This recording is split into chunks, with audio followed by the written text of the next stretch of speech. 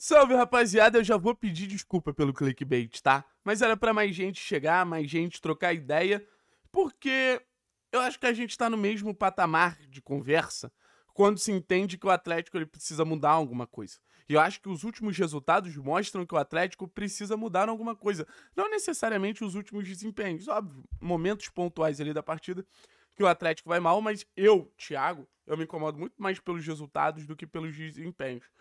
E, e, essa tentativa de mudar algo, eu acho que é o que gera uma pressão muito grande em cima do Wesley Carvalho. É o que gera uma pressão muito intensa sobre o Wesley de ponto de falar, puta, velho, esse cara ele precisa sair de qualquer jeito. Algumas frases bem fortes eu ouvi nos últimos tempos de é o pior treinador que eu já vi com a camisa do Atlético. Não é, velho. Não é.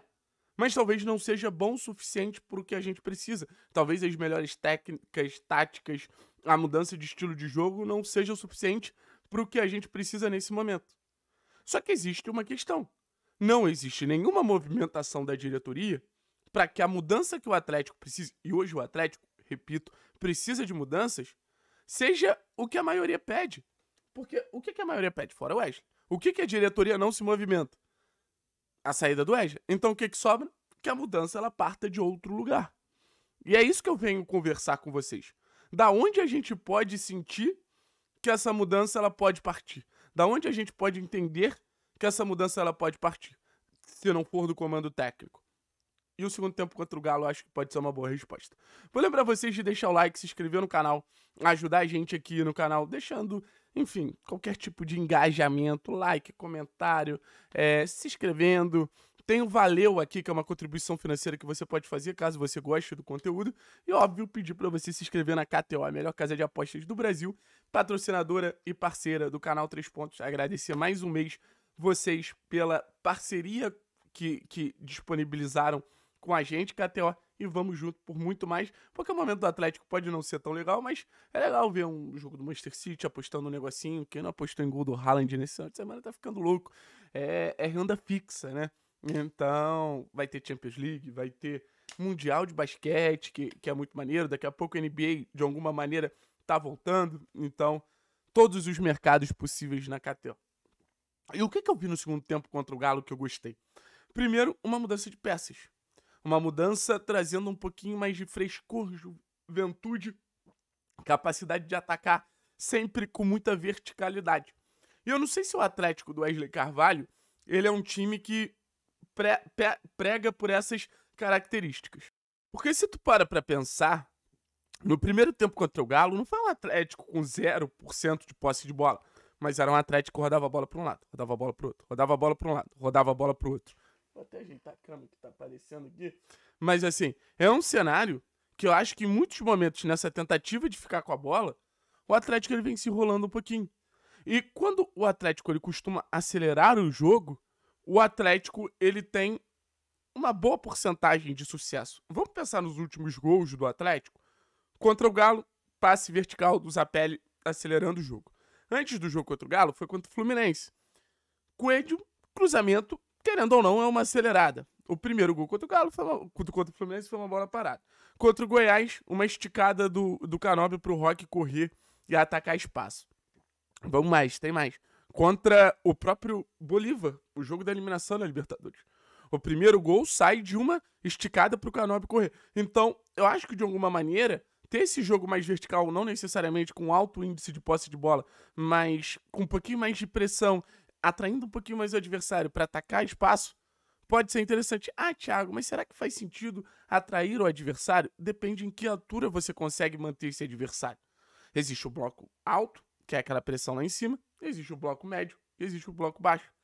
E se você tem esse time que eu tô falando um pouco mais vertical, você pode ter pressão.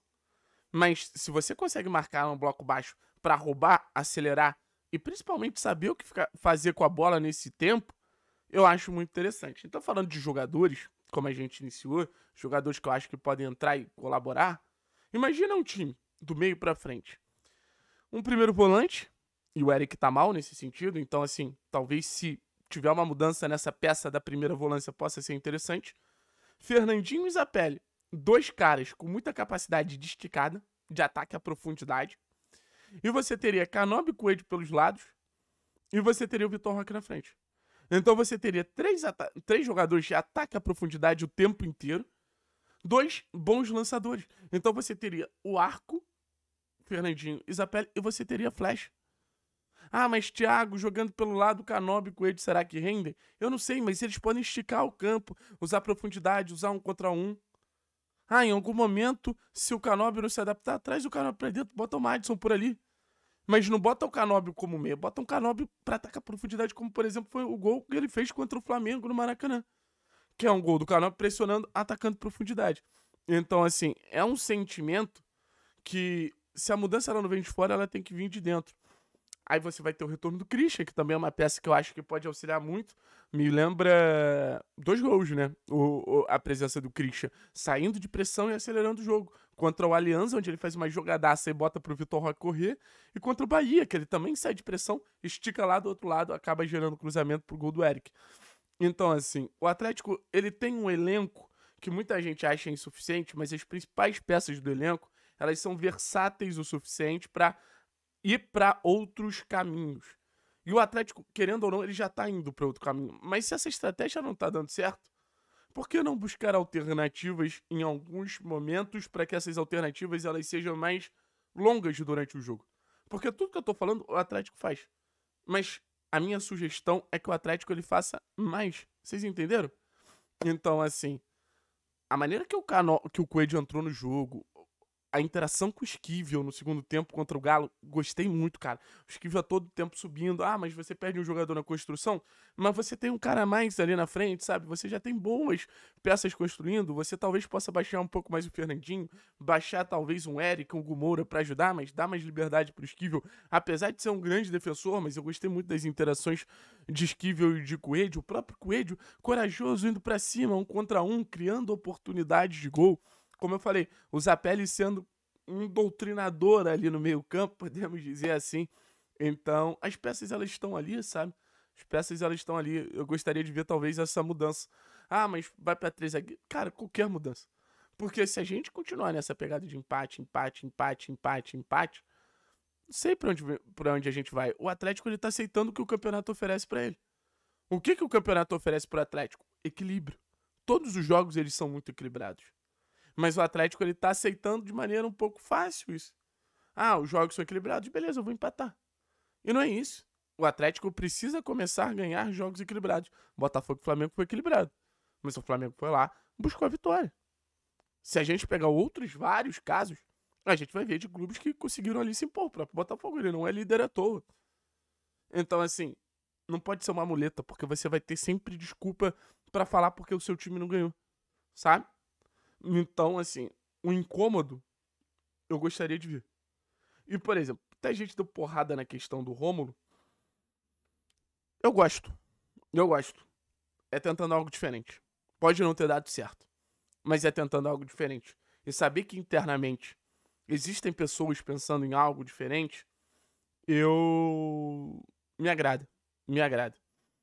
O diferente, ele tem um limite, né?